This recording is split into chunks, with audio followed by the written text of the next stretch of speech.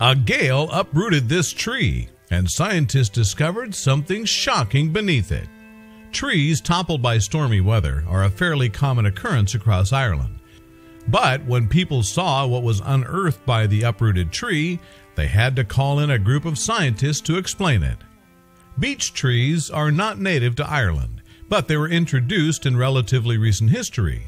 The most famous beech trees in the country are, of course, the so called dark hedges of Northern Ireland, a group of trees that create an awe inspiring sight as their branches intertwine over a rural road. Indeed, the dark hedges notably featured in the hit TV series Game of Thrones. They provided the backdrop for Arya Stark and Gendry's travels on the King's Road in the first episode of the show's second season. But in September of 2015, a completely different Irish beech tree rose to prominence. This fallen tree was discovered in Collooney, a small town with a rich history on the northwest coast of the island. However, this particular tree was actually toppled months before as a result of severe storms. Such gales can bring rain, snow, and flooding, and they're able to generate winds with speeds of up to 100 miles per hour. But the toppled 215 year old giant did not attract any attention for many months, at least not until someone made an eerie discovery of what was ensnarled in the tree's exposed root system. A team of archaeologists were dispatched to investigate the strange finding, and the Sligo Leitrim Archaeological Services, SLAS, scientists who arrived on the scene immediately realized what they were dealing with. The morbid discovery was that of a human skeleton split in half by the tree's upheaval. Indeed, while the torso, arm, and skull were trapped in the tree's exposed roots, the remains of the lower body were still in the ground.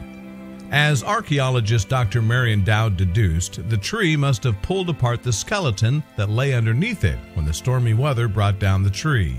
She also noted that some of the bones had actually been destroyed by the movement of the tree's roots. After confirming that the remains were those of a man approximately 17 to 20 years old, the archaeologist used carbon dating to calculate when he died.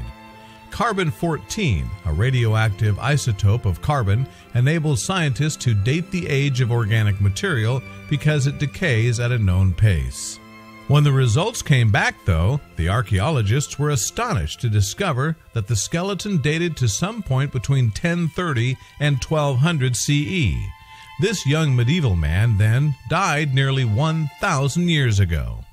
The team estimated that the man was about 5 foot 10 in height, and judging from the wear in his joints, he must have worked a physically demanding job. Furthermore, while the man's height may seem average in today's world, it was much taller than the 5 foot 5 average that was typical for men of his era. But the amazing discovery was only beginning to unravel its secrets. After examining the bones in detail, the scientists also found evidence of physical trauma. Most notably, the skeleton had slashes on the ribs and the hand. This evidence led the archaeologist to suggest that the damage was done with a knife. The man clearly did not die of natural causes. Moreover, the team reasoned that the wounds implied this man was attempting to escape from his assailant. The two leading theories were that the mystery man had perished in armed combat or as a result of a private argument. Neither possibility would be much of a surprise in medieval Europe, where life was short and hard for everyone save the nobility. Whoever planted this tree at the start of the 19th century must have had no idea what was underneath, the scientist reasoned. Yet it was the planter or planters' actions that ultimately allowed this little piece of history to have been unearthed over 200 years later. However, the archaeological magic still wasn't finished. Indeed, judging from the fact that the man was placed in a grave in an east west position, hands folded over pelvic region, the scientists determined that he had been given a Christian burial. This suggests that family members or locals who had known the man gave him a formal burial. Better yet, the finding also hinted at the possibility of other graves in the same general area. In fact, Historical records from the 19th century indicate that this particular location had a church and a graveyard in medieval times. And while investigations have not found any other archaeological sites in the area, the discovery of this grave certainly gives hope that there are more buried historical artifacts waiting to be uncovered in the vicinity.